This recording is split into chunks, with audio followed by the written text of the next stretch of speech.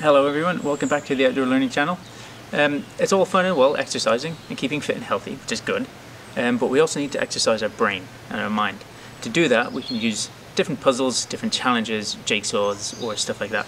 Um, we are going to build Towers of Hanoi, which is a mathematical puzzle, so that's what it's going to look like at the end. Come over this way, I'll show you how to make it.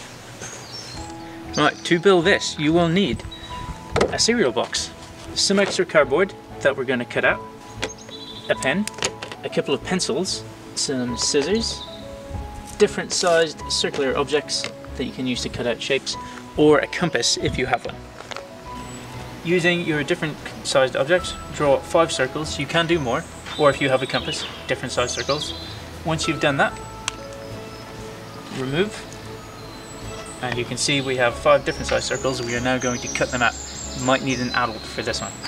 Right, getting the help of an adult, we are then going to start cutting our circles out as close to the line as we can.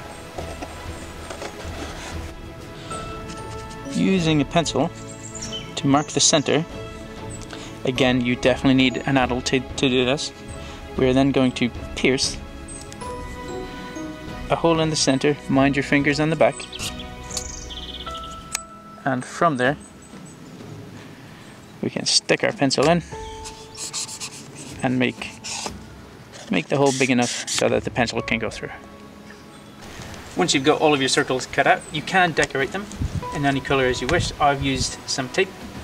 You can paint them, you can use crayons, you can just number them. It's up to you what way you use it. But once you've got them all done, we are ready to move on to the next step.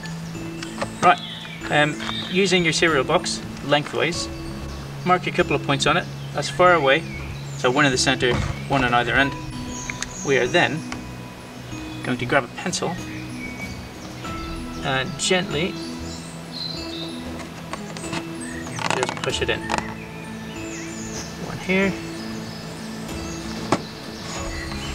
And the last one goes here.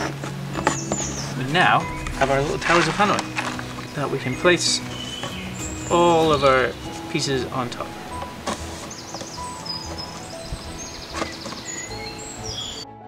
The aim of the puzzle is to move all of the pieces from their starting position on the first pencil to one of the other two pencils. However, there are rules. Right, so now our puzzle piece is complete. Um, to do the puzzle, there's three rules that we need to pay attention to. Firstly, you can only move one piece at a time. The second rule is once you move a piece, it has to go onto one of the other pencils. And the last rule is big ones cannot go on top of small ones. They have to go somewhere else. Once you've done that, you can try and solve the puzzle. And there we have our Towers of Hanoi. This uh, puzzle was created by a French mathematician called Edouard Lucas in 1883. To make it easier, start with three pieces, um, and that can be done in seven moves. The least amount of moves it can be done in.